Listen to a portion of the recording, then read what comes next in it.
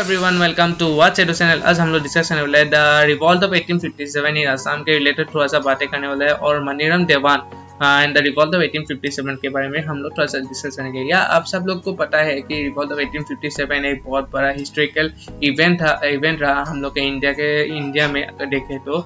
लेकिन उस टाइम असम ने कैसा रोल प्ले किया था प्ले किया था और क्या क्या प्रॉब्लम्स हम लोग असम के सिटीजन्स ने फेस किया था तो वो सब हम लोग डिस्कस करेंगे इस वीडियो पे और इस वीडियो आप लास्ट तक बने रहे और वीडियो देखने से पहले आप लोगों में बोलना चाहता हूँ please do subscribe to my channel and please do share with your friends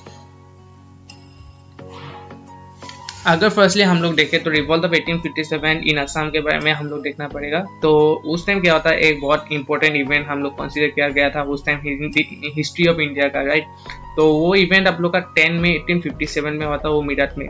वो किसके किसके साथ हुआ था? वो मीटिंग ऑफ़ इंडियन सोल्जर्स और sepoys as the British use to call them British लोगों ने उन लोग को बुलाया था, वो इवेंट मतलब क्रिएट करने के लिए बोल सकते हो कंडक्ट करने के लिए right the unrest against the British rule that had been bring for long time now broke now broke out into a revolt right तो उस टाइम क्या होता था म्यूटिनी ऑफ़ सोल्जर्स से तो उसने एक स्प्रिट एक स्प्रिट किया था, जैसे wild fire to large part of the country the revolt हुआ रिवॉल्ट का कॉज क्यों हुआ था हम लोग बात करेंगे। द रिवॉल्ट वॉज़ कॉज जैसे आप लोग का वाइड स्प्रेड हो गया था discontent that the British policies ने ब्रिटिश पॉलिसीज़ आ गया था हम लोग का इंडिया पे वो क्रिएट कर, दिया था राइट तो उस पॉलिसीज़ में क्या था जैसे conquest pursued by the British had created unrest among many Indian rulers and chiefs right?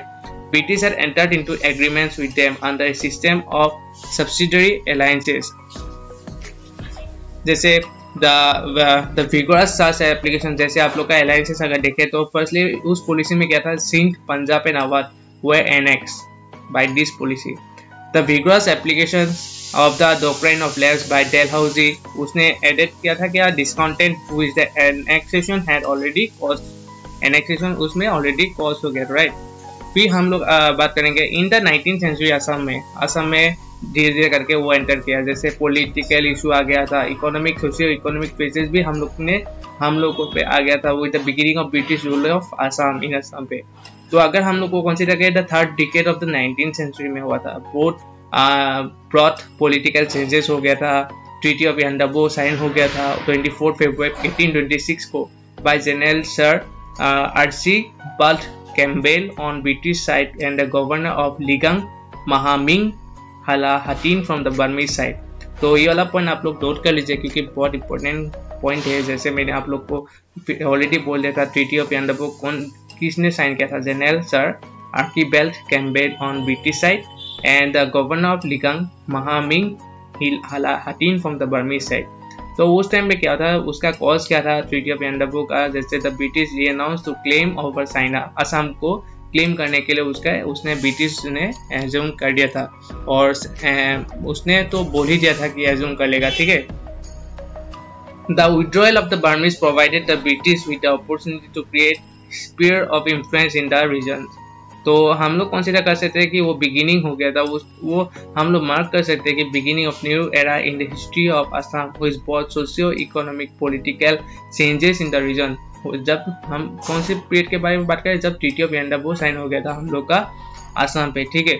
फिर क्या हुआ? फिर ब्रिटिश रेजिमी ने वेलकम किया। ब्रिटिश रेजिमी को पहले वेलकम किया था जो कॉमन पीपल ऑफ़ आसाम ने क्योंकि वो लोग सोच रहा था कि आसाम के लोग सोच रहा था कि वो नोबेल है बहुत उसका प्रोफेशन बहुत नोबेल है।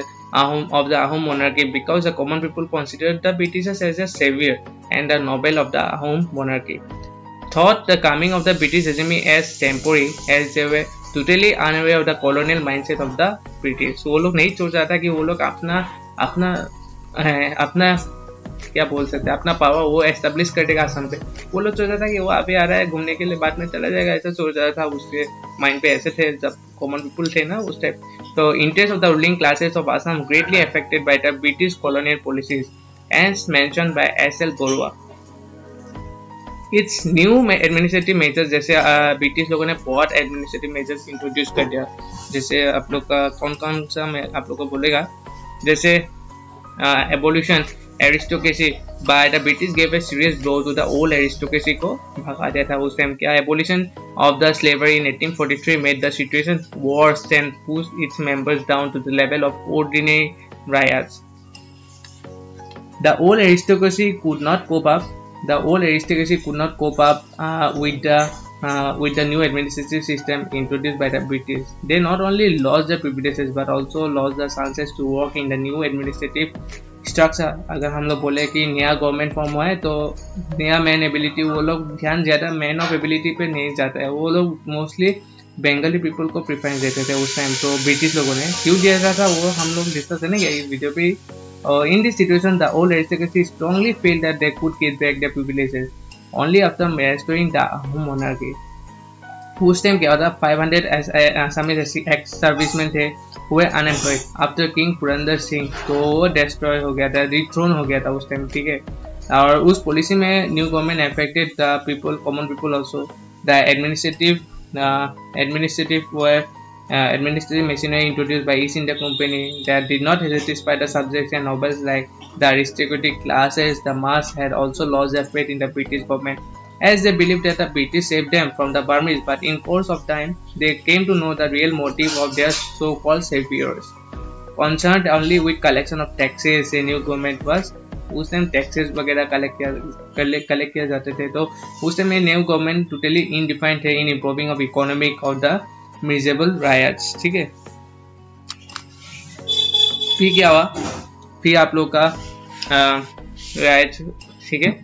फिर बेनुधर शर्मा गया जो स्टेटेड किया था री एक्सेस करने का लेंस वगैरह, ठीक है? तो provision was made for the realization of tolls and the users of the ghats and bazaar तो उस टाइम क्या था British came to Assam only to deliver people uh, from the classes to the of the Burmese. They fasten the Assamese slowly, but uh, surely they are to their yoke once. Okay, one yoke and artfully below indices they will by doublet. ठीक है फिर क्या हुआ as a colonial power rise हो गया ना it was obvious that British trying to fulfil their economic interest जैसे आप लोग को मैंने पहले भी वीडियो में बोला था कि कोल माइंस हम लोग इतना रिच है असम का लोग तो ब्रिटिश का नज़र यहाँ पे लग गया तो क्या हुआ? फ्रेंसिस जेंकलिंस आ गया था वो एडमिट कर दिया 1853 में उसने एडमिट किया कि economic condition of Assam people already suffered very much due to prolong strife couple with the invasion of the British and aristocracies but British regime ने क्या किया? उसने इंपॉर्टेंस ज़्यादा ध्यान दिया collection of masses taxes but the economic interests of the people were ignored by the British government, who is bought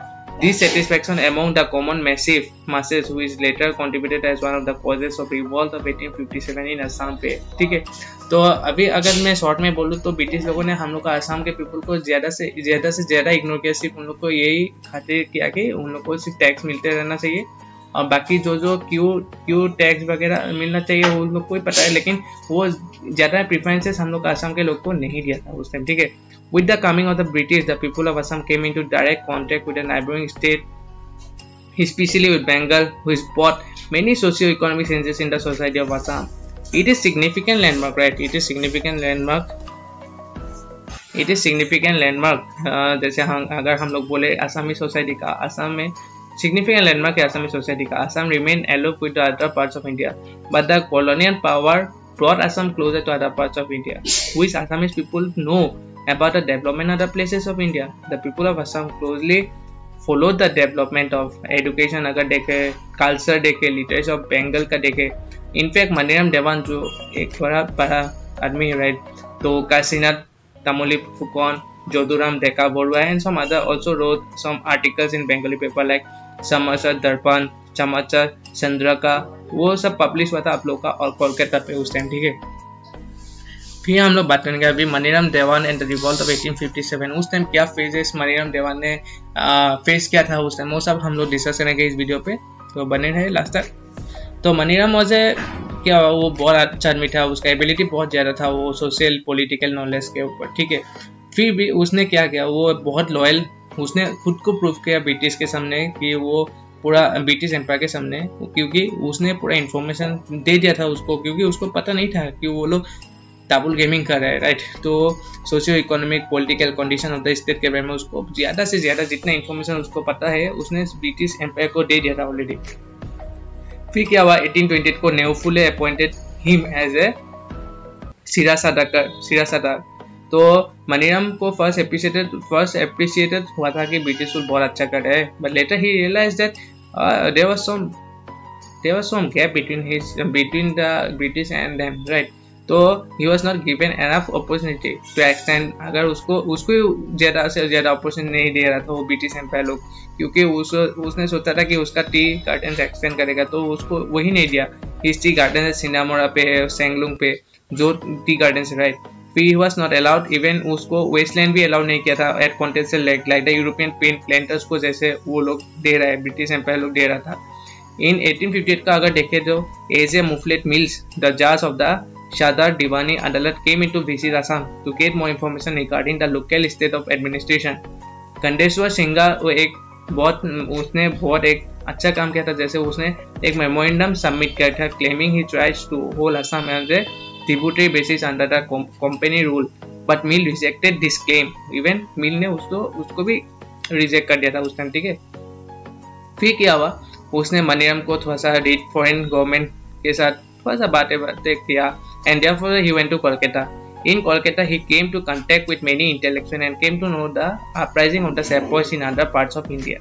And thereby planned to organize revolts in Assam. उस time ही मनीराम देवान को पता चला कि ब्रिटिश लोगों ने कैसे कब्जा करते हैं हम लोग का असम को कब्जा करने के लिए उसने एक प्रोसीडियर बनाया था ना ब्रिटिश लोग तो उस प्रोसीडियर का पता चल गया था हम लोग का मनीराम देवान को ठीक है?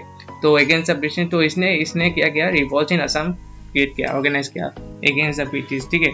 मनियम suggested Kandeshwar Singha to take the help of the local sepoys जैसे आप लोग का शिवसागर हो गया डिब्रूगढ़ हो गया to fulfil their purpose as well मनियम and Piyali Barua must be counted as one of the greatest अभी भी उसको role of Piyali Barua to take the helpful of local support and fulfil their purpose तो मनियम देवन ने क्या किया? तो मनियम and Piyali Borwa जो अभी कौन है और डिस्कस करेंगे। Must be counted as one of the brightest luminaries whose name is mainly remember and relevant one right relevant care the role of Piyali Barua in the report of eighteen fifty seven decisive unlike Maniram Dewan unlike Maniram Dewan unlike Maniram Dewan very important Piyali did not support a British regime The chief planner of the revolt was Maniam Dhan, but uh, purely who bought the plan to सबसे plan तो बनाया था मरियम देवान ने, लेकिन execution Piyali Piyali Piyali Piyali ने उसने वो प्लान एग्जीक्यूट किया था, ठीक है in fact Maniram can not be term as perfect organiser because he never appeared before the people who, with his plans and actions. Amulya Sanda Sharma had stated the sociability of Pioli Bora made him popular among all sections of the people. धीरे धीरे करके पूरा famous किया था Pioli Barua को तो other important organiser the revolt was Bahadur Gaon Burha Pramod Ali Madhu Malik Duhiram Dutiram Barua the revolt was plan to be organise during the Durga Puja but an incident to place which let an opening up to the whole friend before the British government and also sense the scenery of the revolt in Assam तो अभी आप लोग को ये पता चला right तो as a result as a result तो क्या हुआ? हम लोग को ये exhibition as a result result पे हम लोग देखेंगे कि बहुत सारे लीडर्स जो थे, वो अरेस्ट हो गया था one by one and destroyal is destroyed the whole planning of the revolt in 1857 में जो जो प्लानिंग किया गया था, वो सब धीरे धीरे करके डेस्ट्रॉय हो गया था और पूरा ज़्यादा से ज़्यादा लीडर्स अरेस्ट हो गया था। तो अरेस्ट हो गया था, ठीक है? और अगर अगर ये वाला वीडियो आप लोग को थोड़ा सा भी इंफॉर्मेटिव लगे या आप लोग को ज़्यादा से ज़्यादा इन्फॉर्मेशन मिल गया हो, क्योंकि मैंने बहुत ट्राई किया था, बहुत सोर्सेज से लिया था। आसाम पी नोट्स भी हम, मैंने प्रीफर किया था। और ज़्यादा से ज़्यादा नोट्स इन्फॉर्मेशन कनेक्ट करने के लिए और आप लोग के लिए, आप लोग को देने के लिए मैंने ट्राई किया। और वीडियो देखने के लिए थैंक यू और वीडियो अगर आप लोग को अच्छा लगे please like share and subscribe to my channel and thank you